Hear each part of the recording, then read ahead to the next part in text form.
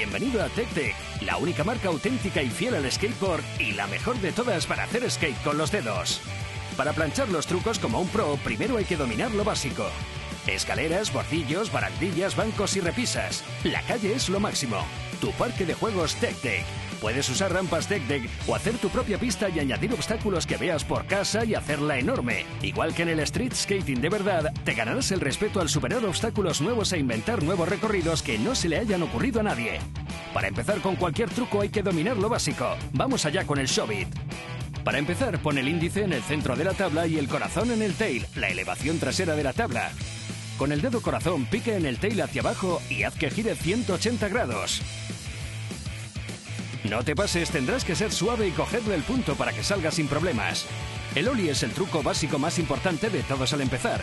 Casi todos los trucos de la calle van a tener Olis de alguna forma, así que es importante tenerlo muy claro antes de seguir. Pon los dedos en la posición de salida, pica el tail con el dedo corazón y raspa el índice hacia el nose de la tabla para equilibrarla. La fricción del índice sobre la lija de la tabla es lo que hace que se levante del suelo la parte posterior.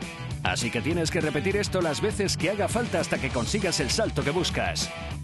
Hay varias formas de practicar los movimientos del Oli para empezar. Primero, practica sobre la pierna. Empieza usándola para el skate. Así puedes apoyar la tabla hacia detrás hasta que esté vertical o inclinada hacia atrás, con lo que levantarla es más fácil. Luego prueba a practicar con rampas. Con la misma técnica que usaste en la pierna, en las rampas podrás impulsar la tabla hacia atrás lo suficiente para que sea más fácil salir volando.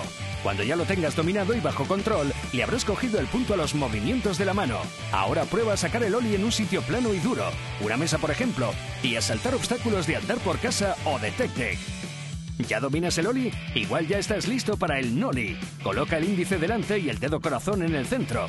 Para este truco es mejor si vas con algo de velocidad de impulso, así que empezamos por rodar.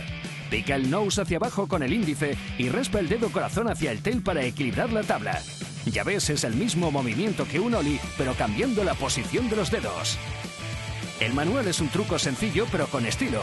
Lo puedes sacar antes o después de los olis y flip tricks para hacer recorridos y combinaciones avanzados. Para el manual pica y levanta la tabla sobre dos ruedas. Un mani normal se hace sobre las ruedas traseras, un mani de nose con las delanteras. Aguanta rodando cuando pueda sobre el tail o el nose con el dedo corazón. Luego desliza el índice hacia atrás y sal como siempre.